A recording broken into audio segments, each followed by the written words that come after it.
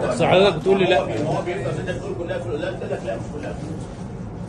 أغرب قضية تهريب هتشوفها في حياتك وكلمة السر سندوتشات الشاورما. من ساعات انتشر فيديو على ال social media كان الأغرب من نوعه وده لأن الفيديو كان بيوثق وقائع تهريب أموال.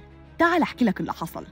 من ساعات قليلة وفي مطار القاهرة تحديداً كان في طيارة متجهة للكويت وكان في واحد من المسافرين شكله غريب وباين عليه الارتباك.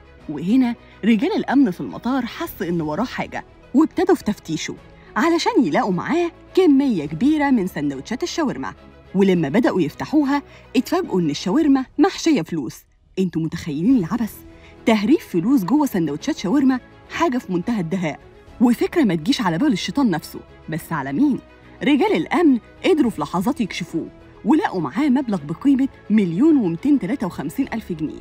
وكل الفلوس دي في سندوتشات الشاورما. ومع التحقيقات اكتشفوا إن صاحب الواقعة بيشتغل في منصب حساس وبالتالي في احتمال كبير إن الفلوس دي يبقى مصدرها غير شرعي وإلا ما كانش هيتجه لتهريبها بالطريقة دي.